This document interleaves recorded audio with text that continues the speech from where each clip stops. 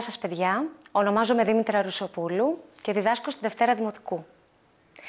Σήμερα θα μιλήσουμε για τις οικογένειες λέξεων μέσα από την παραγωγή και τη σύνθεση.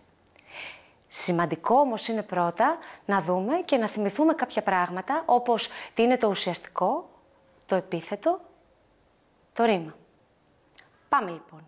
Ουσιαστικό είναι αυτό που φανερώνει πρόσωπο, ζώο, πράγμα ή κατάσταση. Για παράδειγμα, ο ποντικός είναι ουσιαστικό, γένους αρσενικού, φανερώνει ζώο. Η μητέρα.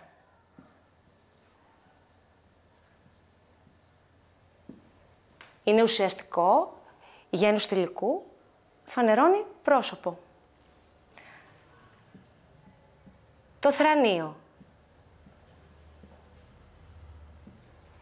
Είναι ουσιαστικό, η γένους ουδετέρου φανερώνει πράγμα. Πάμε τώρα και στο επίθετο. Επίθετο είναι αυτό που χαρακτηρίζει το ουσιαστικό. Δεν ξεχνώ ότι τα επίθετα γίνονται και στα τρία γέννη. Για παράδειγμα, φωτεινός, φωτεινή, φωτεινό. Το φωτεινό δωμάτιο. Το επίθετο φωτεινό είναι αυτό που χαρακτηρίζει το ουσιαστικό δωμάτιο. Πάμε τώρα και στα ρήματα.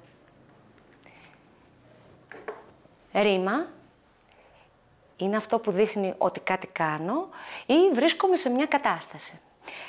Παραδείγματος χάρη, τρέχω, κοιμάμαι. Ένα παράδειγμα, το παιδί τρέχει. Το ουσιαστικό παιδί κάτι κάνει. Τρέχει. Τρέχει είναι το ρήμα.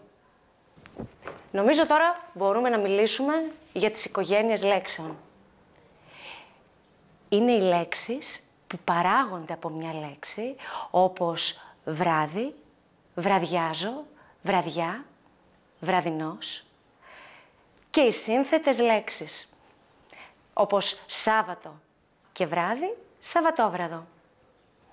Οι λέξεις που παράγονται από την ίδια μητέρα αποτελούν μια οικογένεια λέξεων. Σε μια οικογένεια λέξεων μπορούμε να βρούμε ουσιαστικά, επίθετα, ρήματα. Πολλές από αυτές τις λέξεις, παιδιά, είναι σύνθετες. Δεν το ξεχνώ αυτό. Ας δούμε μερικά παραδείγματα.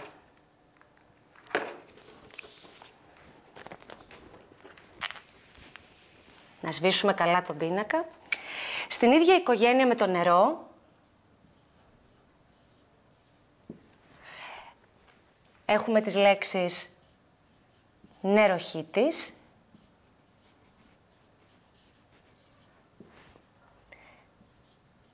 νεροκανάτα,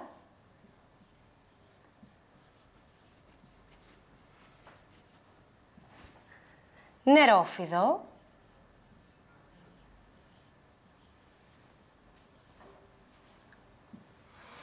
νεροποντή,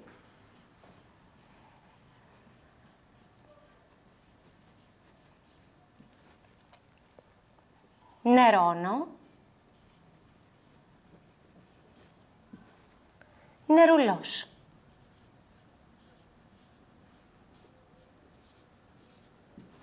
Συνεχίζουμε. Νεροπότηρο.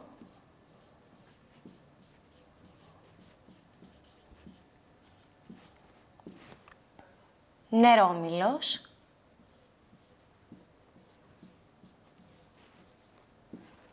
Νερομπογιά.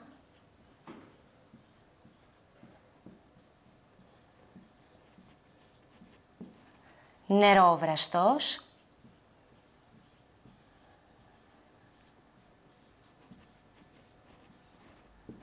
νεροτσουλήθρα.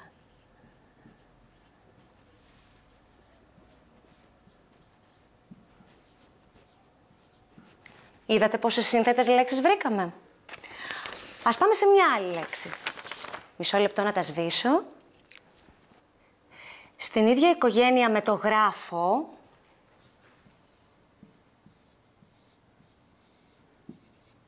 με το ρήμα γράφω, ε, μπορούμε να βάλουμε τις λέξεις γράμμα,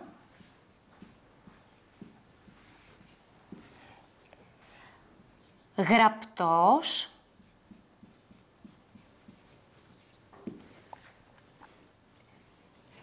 γραφείο,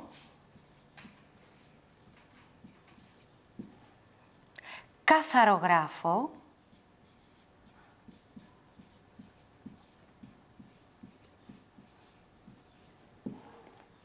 γραφικός,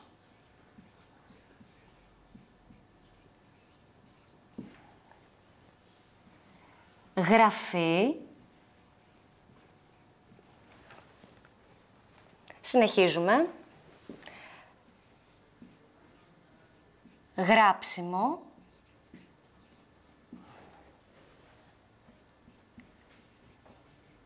περιγράφω,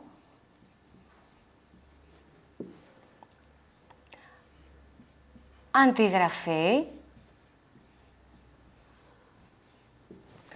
ορθογραφία,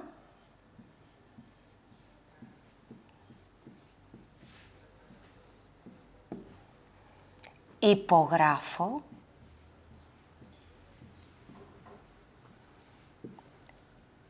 ηχογραφώ.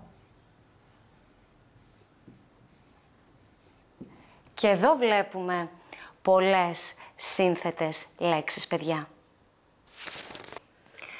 Τώρα θα φτιάξουμε και άλλες οικογένειες λέξεων και θα βάλουμε τη μητέρα λέξη στη σκεπή. Ξεκινάμε από τη θάλασσα.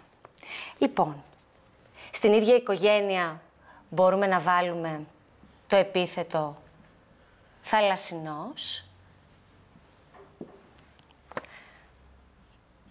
παραθαλάσσιος,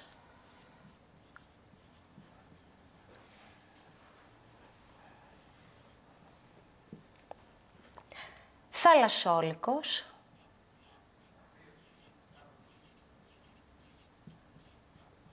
όπως αποκαλούμε τους ναυτικούς που έχουν ζήσει πολλές φουρτούνες, θάλασσοταραχή,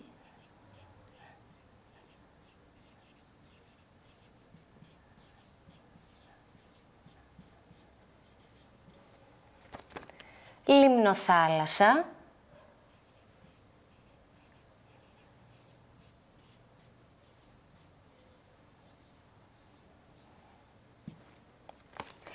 θαλασσοπούλη,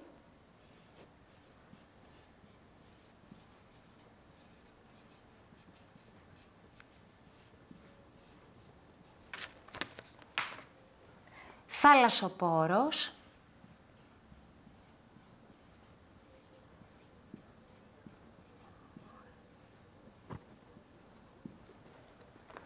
λαοθάλασσα,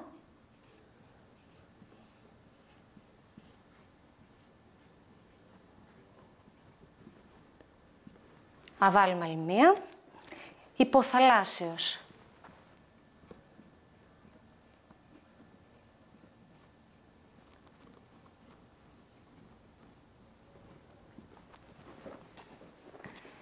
Παρατηρούμε ότι όλες οι λέξεις έχουν δύο σίγμα, όπως ακριβώς και η μητέρα λέξη θάλασσα, αφού ανήκουν στην ίδια οικογένεια.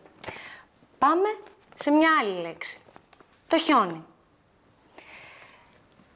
Εδώ μπορούμε να βάλουμε το ρήμα χιονίζει.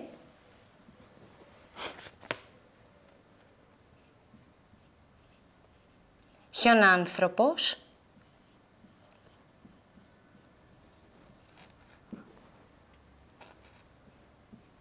Χιονοδρομικό.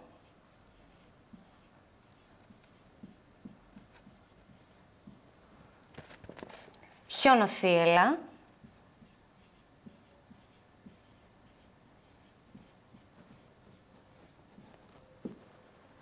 Χιονόνερο,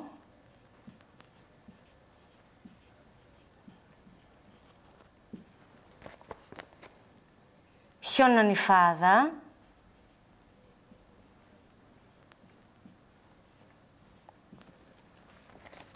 χιονόπτωση,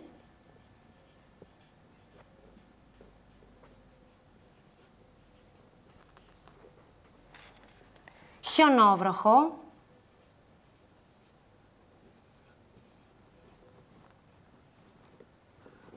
Στην ουσία το χιονόβροχο και το χιονόνερο είναι το ίδιο πράγμα. Εκχιονιστικό. Πάω το σφουγγάρι από εδώ.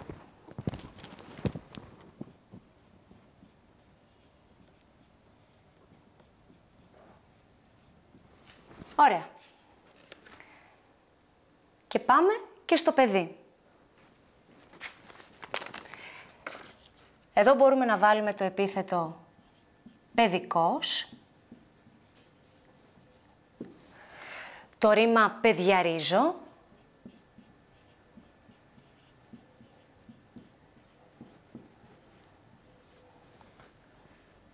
Το ουσιαστικό παιδικότητα.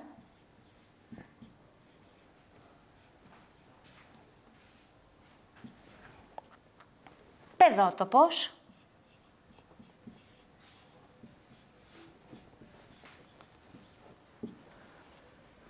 Παιδίατρος,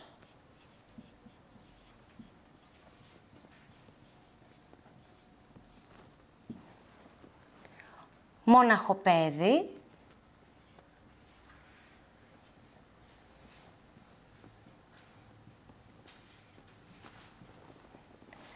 παιδαγωγός.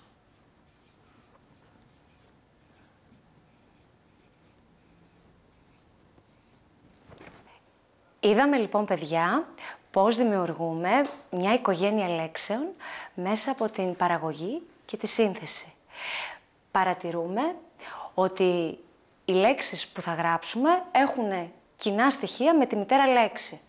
Βλέπουμε εδώ ότι όλες αυτές οι λέξεις έχουν δύο σίγμα, όπως η μητέρα λέξη θάλασσα. Σε αυτή την οικογένεια όλες οι λέξεις έχουν το ίδιο θέμα με τη λέξη χιόνι. Και εδώ Όλες οι λέξεις έχουν γιώτα, όπως η μητέρα λέξη παιδί. Είδαμε λοιπόν, παιδιά, πώς δημιουργούμε μια οικογένεια λέξεων μέσα από την παραγωγή και τη σύνθεση. Χάρηκα πολύ.